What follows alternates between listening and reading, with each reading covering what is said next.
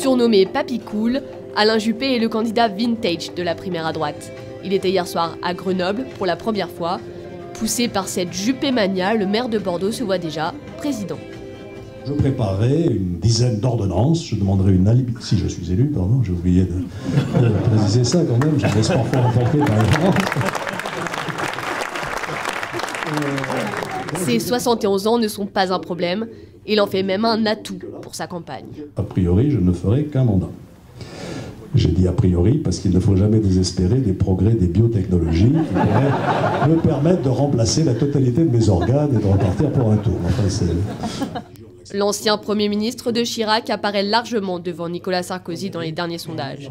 Alors Alain Juppé, le chouchou des sympathisants de droite Le chouchou, je sais pas, dans ici les gens m'aiment bien. 700 personnes étaient là hier soir pour acclamer le candidat. Un public largement conquis par l'homme et son discours. C'est vrai que j'ai découvert une personnalité que je, pense, je pensais que c'était une personnalité plus froide. Ça fait un peu plus d'un an et demi déjà qu'il est la personnalité préférée euh, des Français sur le plan politique. Aujourd'hui, il a plus de 70% de code de popularité, si ma mémoire est bonne. Et, euh, je pense que c'est un, discours qui est, apaisant. Euh, il promeut des idées qui lui sont propres, comme l'identité heureuse, qui change un peu des discours peut-être plus clivants qu'on va trouver chez d'autres candidats de droite. Mais tout n'est pas joué.